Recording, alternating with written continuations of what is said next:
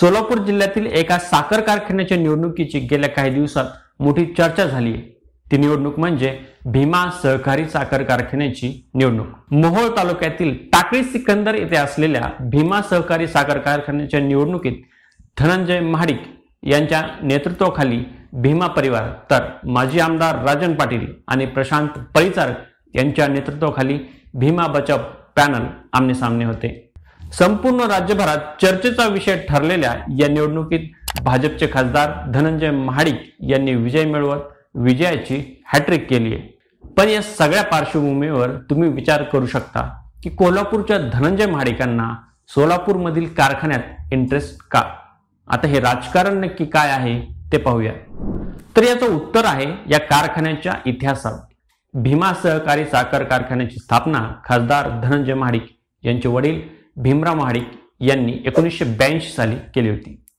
त्यावेळी भीमराव महाडिक यांनी स्वतःची कोल्हापूरमधील जमीन विकून या कारखान्यासाठी भांडवल उभा केलं होतं. कारखान्याच्या स्थापनेनंतरच्या पहिल्याच निवडणुकीत महाडिक कुटुंबाची सत्ता या कारखान्यावर होती. पण त्यानंतरच्या निवडणुकीत भीमराव महाडिक यांना पराभव स्वीकारावा लागला आणि हा कारखाना गमावा लागला. नंतरच्या काळात राजन पाटील आणि प्रशांत परिचारक यांनी काही काळ भीमा कारखान्यावर सत्ता गाजवली. पण धनंजय महाडिक राजकारणात सक्रिय झाल्यापासून महाडिक परिवाराने भीमा सहकारची निवडणूक मनावर घेतली आणि दोन हजार अकरा साली ती जिंकलीही.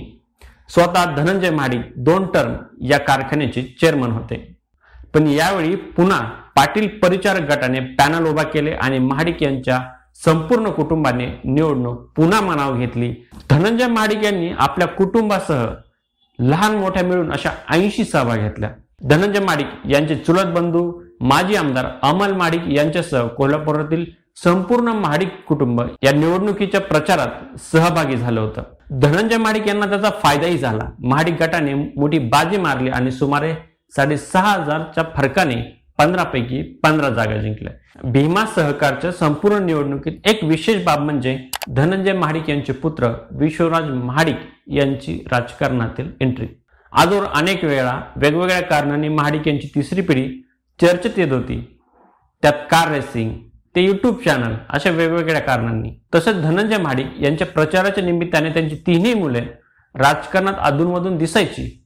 पण सक्रिय राजकारणात प्रवेश कधी करणार हा प्रश्न लोकांमधून विचारला जायचा.